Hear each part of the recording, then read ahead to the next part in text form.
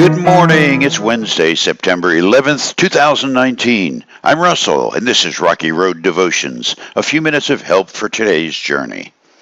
Our devotion today is entitled Failure, and our scripture is Luke chapter 18. Once a religious leader asked Jesus this question Good teacher, what should I do to inherit eternal life? Why do you call me good? Jesus asked him. Only God is truly good. But to answer your question, you know the commandments. You must not commit adultery. You must not murder. You must not steal. You must not testify falsely. Honor your father and mother. The man replied, I've obeyed all these commandments since I was young. When Jesus heard his answer, he said, There's still one thing you haven't done. Sell all your possessions and give the money to the poor, and you will have treasure in heaven. Then come, follow me. But when the man heard this, he became very sad, for he was very rich. When Jesus saw this, he said, How hard it is for the rich to enter the kingdom of God. In fact, it's easier for a camel to go through the eye of a needle than for a rich person to enter the kingdom of God. Those who heard this said, Then who in the world can be saved? He replied, What is impossible for people is possible with God. And Peter said, We've left our homes to follow you. Yes, Jesus replied, and I assure you that everyone who has given up house or wife or brothers or parents or children for the sake of the kingdom of God will be repaid many times over in this life and will have eternal life in the world to come. One reason skeptics have always sought ways to discredit Jesus' divinity is the obvious flaw in their wishy washy lack of faith and the obvious discomfort felt over having to deal with someone who uncovers the soft underbelly of their weak argument. What's really at stake for the skeptic is the risk of being uncovered as a failure.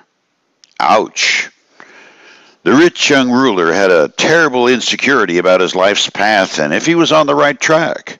He came to Jesus for advice, or more likely simple affirmation that he really was a good man and had nothing to worry about.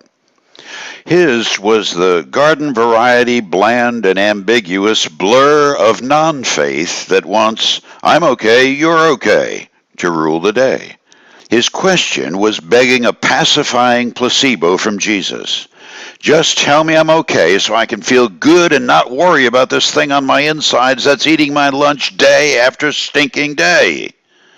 But Jesus never settles for good feeling. He's all about the truth that sets one free. Even human psychiatrists know better than to tell you what to do. A main principle of psychiatry is that the answers we seek to our deepest questions are already locked within our minds.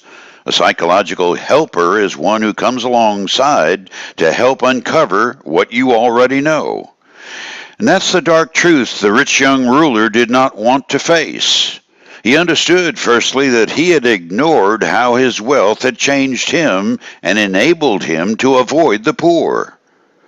His soul craved goodness. That's why he raised that issue when he went to Jesus. But he was deeply afraid it was out of his reach.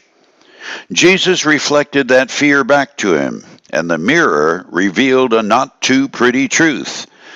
And the young man saw just how tied he was to his riches, which are transitory, a mere mist that'll fade, and how uncommitted he was to the reality of eternity. In short, he trusted his money more than his Creator. It's no wonder he walked away dejected and broken, all the fingers pointing at his failure were attached to his own hands.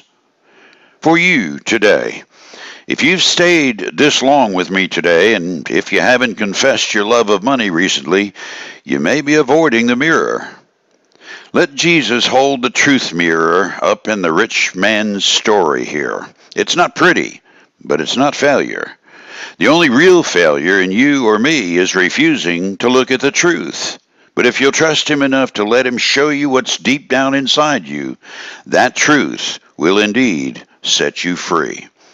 You chew on that as you hit the rocky road. Have a blessed day.